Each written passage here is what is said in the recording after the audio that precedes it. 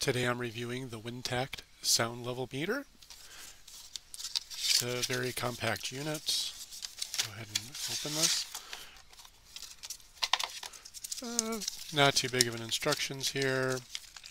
It's a one piece of paper, double-sided. Device comes reasonably well packed. Plastic bag.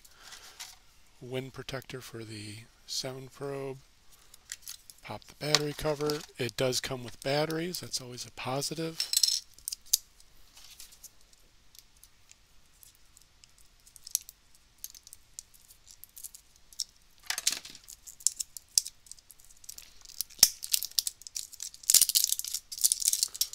Three AAAs. Go ahead and just put those in there really quick.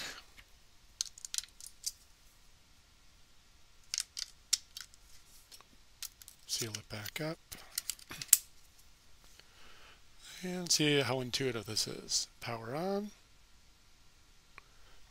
Looks like I'm at between 48 and 68 if I'm talking. Apparently I speak at about 60 decibels at 18 inches from the probe.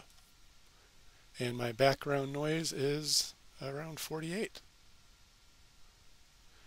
Very simple to use. You can go to mix, minimum, and maximum.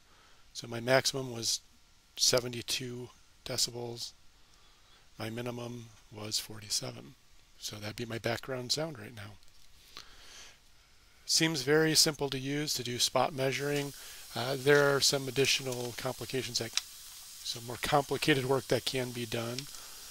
Uh, seems very simple to use. I like it. Uh, looks like you tab it one more time you get a backlight which is nice.